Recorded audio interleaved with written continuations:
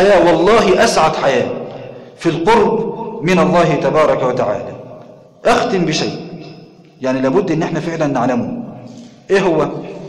إن في شيء في تكة هي اللي بتخلي كتير من الناس ما بيخشش في الالتزام سواء من الرجال أو النساء. يعرف إيه التكة ديت؟ إن طريق الالتزام في أوله إيه؟ صعب سنة. عاوز منك شوية صبر. عاوز منك شوية ثبات. تحس إن أنت مستغرب الوضع مستغرب الجو. تسمع قرآن بتصلي بحافظ على الصلاة. تحس إن الجو ده غريب شوية عليك. لكن بعد فترة بتتذوق حلاوة الإيمان. طريق المعصية عكس كده. ممتع في الأول. كله شوف ملذات في الأول. لكن بعد فترة تبدأ تحصد الندم.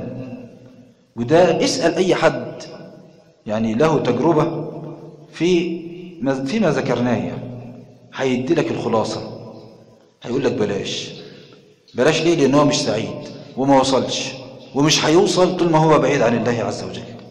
يبقى دي الخلاصة. يبقى أنت لازم تعرف إن أنت بس الطريق إلى الله عز وجل آه في الأول صعب شوية لكن بعد كده رائع وسهل.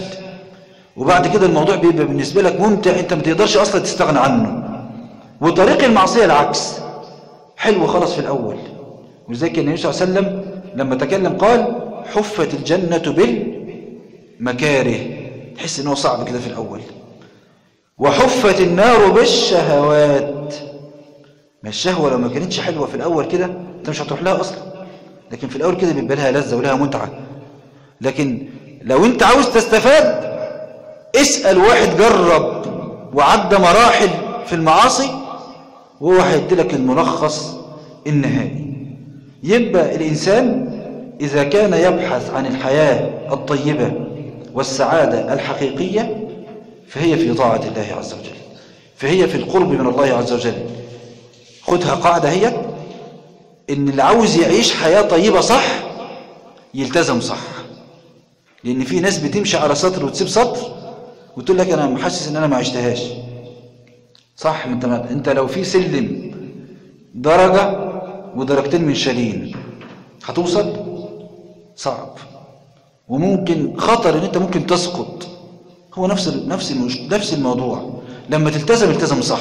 علشان تعيش صح. علشان تعيش صح يبقى أنت تلتزم صح. ربنا قال يا أيها الذين آمنوا ادخلوا في السلم إيه؟ كافة. التزم. التزم وما تخافش. من فقد الله فماذا وجد؟ ومن وجد الله فماذا فقد؟ لو كنت قريب من الله عز وجل ولا يضرك اللي فاتك. ولو كنت بعيد عن الله عز وجل إيه اللي هيفيدك اللي معاك؟ بإيه هيفيدك اللي معاك؟ ففي الخير.